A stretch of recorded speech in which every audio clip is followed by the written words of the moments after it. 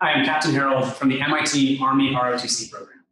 And this is part one of a three part series on the 18 minute drill designed to help platoon leaders plan from receipt of the mission all the way through briefing out. So, first video here is going to focus on uh, the OPORD notes card and how to fill that out properly. The second video will focus on uh, what the planning timeline looks like from receipt of the mission up until your OPORD brief.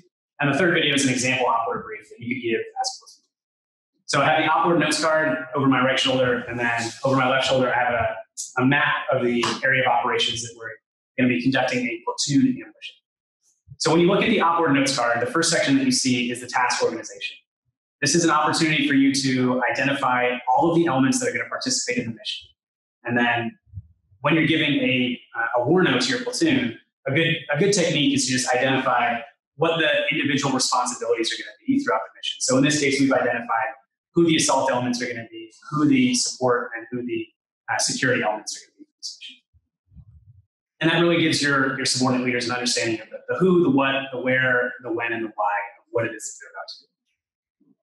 The next section of the notes card is the your terrain analysis. So focused on OAKOC, you can take most of this information directly from the company order, but understand that the company commander has written it about the entire company AO, and you need to tailor some of it to your specific platoon AO, really understanding what your route is going to look like uh, so that you can brief terrain accordingly. Also, when you're looking at the weather, you just want to highlight a few of the more important things. So specifically, uh, you know, what's the temperature going to be, and also, uh, you know, when is sunrise, when is sunset? Is this mission going to happen during periods of good visibility or limited visibility at night? The next section is on the enemy information. So this is where you can take most of this information directly from the uh, company op order or the Frago, but again, you want to tailor it to your platoon. So if the company order says that there are three, three to five man teams operating within the company AO, you should probably only expect to see one or two of those operating within your platoon AO. Also, highlight the most likely and dangerous courses of action, uh, which are likely going to come directly from that company order or threat. The next section is about friendly information. So it's key to understand some of the other friendly units on the battlefield. You know, where are your adjacent units? What are their task and purpose? Uh, so that as you're conducting route planning, you're not going to stumble onto uh, an objective from one of your sister platoons. Scrolling down here, we're taking a look at uh, more friendly information. So this is a look at uh, the company mission, which is one level up. For the sake of an expedient brief like this, we're not going to focus two levels up. We're just focus on the company right now, what their mission is, what the commander's intent is, and, and what his end state is. Uh, and you can copy that directly from the order or the fragment.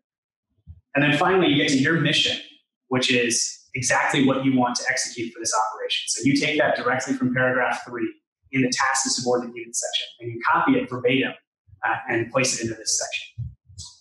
Once you know your mission, you can then start to get an idea of what the, the timeline looks like. So we've broken this down into a planning timeline as well as an operational timeline uh, of what the entire mission looks like. So for planning, it's everything from your troop leading procedures. How are you going to uh, manage your time up until the operative brief is stepping off on your mission.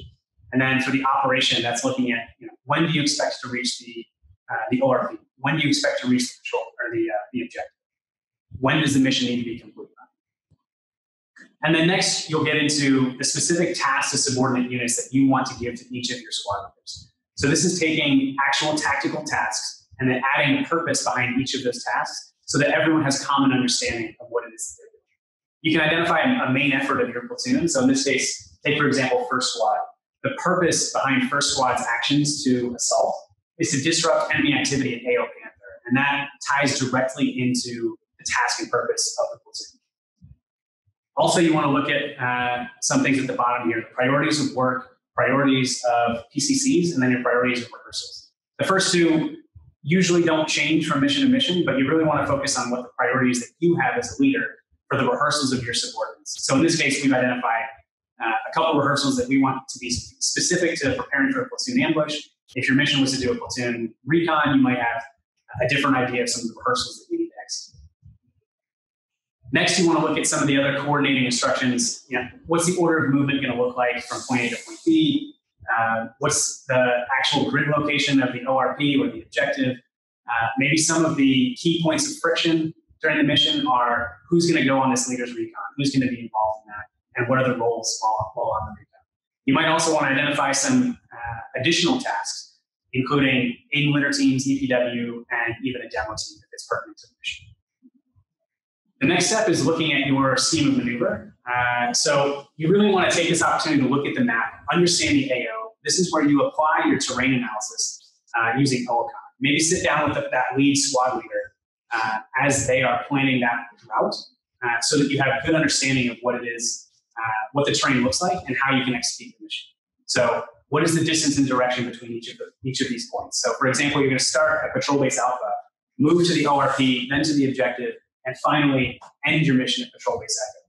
Once you know the distance and direction between those, uh, those locations, maybe identifying some major terrain features. So specific to this mission, there's an open danger area in between the ORP and the objective. That's something we need to be aware of and prepared for. What are that? That's going to influence what formations we use or uh, what techniques we use uh, to travel in between locations. So once you've identified uh, what the route looks like, and another point with that is that giving that responsibility down to the uh, to the lead squad leader is a great way of empowering that leader to then take charge of that part of the operation. It can take weight off of your shoulders for planning that. Um, and they're ultimately going to be the one who's in the front leading the entire patrol. So it's a great opportunity to get them on board and to get everyone on the same page. Now looking at phase three, you want to look at your actions on the objective. So bring everyone together, draw a quick sketch of what you think the objective is going to look like. And as you're planning this part of the operation, a couple things you want to want to remember uh, for any operation. The first thing you want to do is gain and maintain contact with the enemy. Once you've done that, you want to disrupt whatever activity it is that they're doing. Fix them in place so that you can then send a maneuver element uh, to maneuver on the enemy and follow through with whatever your mission is, whether that be destroy, neutralize, etc. So looking here at this picture, this is a good way for people to understand spatially, maybe during a WARNO, for you to do some quick planning with your subordinate leaders. What, what element is going to be where on the battlefield? Um, and then also it's a great picture for you to then hand to whatever soldier you're going to have build the terrain model. Things to consider as you're uh, going through your actions on the objective are what is the trigger for executing this mission? So in this case, it's an ambush. How are you going to trigger that ambush? Also, what are, what are the branch plans? No, no plan is going to survive first contact with the enemy. So you need to be prepared that if the enemy does this, maybe your response to that is going to be this, so that you're ready to react to that accordingly.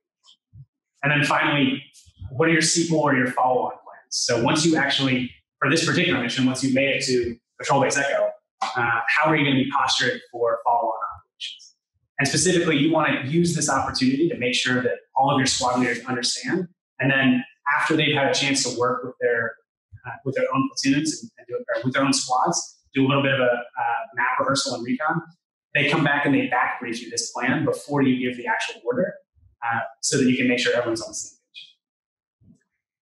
the next section, finishing up with paragraph three, you want to talk about your, your coordinating instructions. You can take this directly from uh, the company order or the, the. So PIR, FFIR, uh, looking at both friendly and enemy forces. Um, and then finally, and also paragraph four, your sustainment.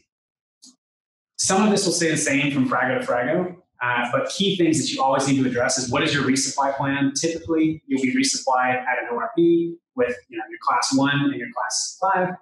Uh, and then what is your casualty plan? So you need to have a location of a CCP, but remember, it's not just actions on the objective that you need to plan for. You also need to be prepared to take a casualty on your way to the objective or even from the objective to your final patrols. And then the last paragraph, command and signal, it's, it's really key to understand the location of your other friendly units on the battlefield in the event that you needed help. So good example of that, what is the location of the company command post? And then also, who's in charge? What's the succession of command? Um, in this case, we've identified the PL followed by the platoon sergeant, followed by the most senior squad leader. Also, uh, make sure that your subordinates have that same plan in place at their level. So if the weapons squad leader were to go down, who is the next team leader who's going to take his place? And finally, uh, for signal, our tendency is to brief through this part really quickly uh, because uh, it, it sounds the same every time. But this can become critically important when it comes time to actually split your elements. So imagine that you have finished the leader's recon and you're now coming back to the ORP and you're trying to link up with the rest of your platoon. It's critical that people understand what that challenge and password is, maybe what that number combination is in case you're using IR flashes at night so that you can avoid fratricide. And then finally, the PACE plan, understanding or making sure that everyone in the platoon understands that if the primary method of communication goes out, we have at least these two to three other methods of communicating before all hell breaks loose. So that finishes the OPORDs note card or the OPORD notes card. Uh, and the next video will walk you through how to plan the mission from receive the mission all the way through the